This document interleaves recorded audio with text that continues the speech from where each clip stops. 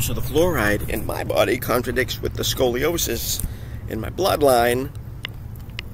And this vertebrae right here is like the fifth one down. Oh, it just jams up. And oh, and then the, the other place it curves hurts too. And it's just agony all day long. And the only thing that helps is cannabis. So I've been fighting for cannabis my whole life. And that's when they got the FBI and DEA and all those motherfuckers up my ass. Metaphorically speaking, weirdos. Fit an entire organization up your ass.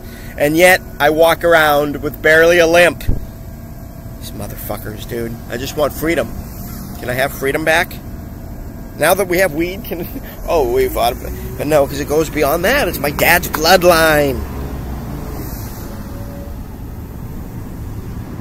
My brother's daughter just came out of the closet of being she lives with a cop.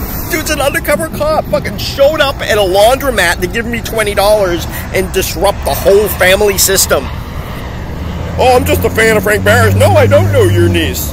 And then I look at him the next day when I finally get my battery back because my phone is crap. And yeah, no, it's my niece's uh, boyfriend. Live together. Fucking cop.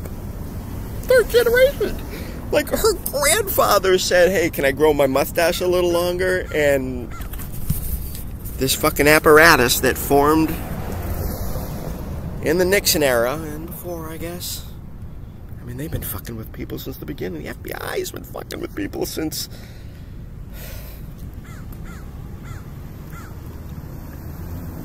They fucking started. It's supposed to be about freedom. Who are these organizations that keep taking my freedom? They have to go. They're done. They're out. Please? Can we destroy these? Can we destroy the FBI? Can we just dismantle it, please?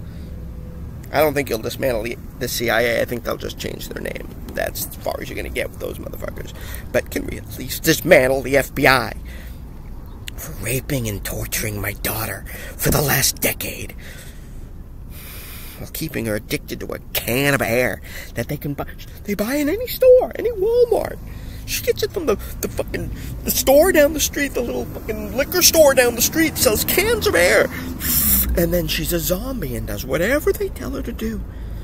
So that can of air that you spray your your your keyboard with, it just happens to have the magic potion that the MK Ultra program was designed to find we're going to find some sort of a drug that you can give to people and they'll do whatever you want.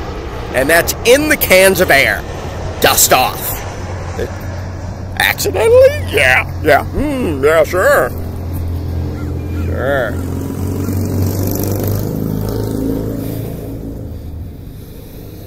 Monsters.